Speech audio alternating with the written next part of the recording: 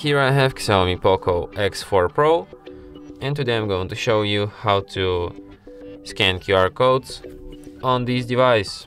So first you will have to open camera, then tap here, go to its settings, then go to the smart suggestions and enable scan QR codes feature here. And now to scan QR codes, all I need to do is to is, is just write QR code, then find it with your camera like this. And as you can see as soon as it spots this QR code this kind of icon appears. And when you tap on it you can see the page encoded to this QR code. You can visit this page and that's how it's done.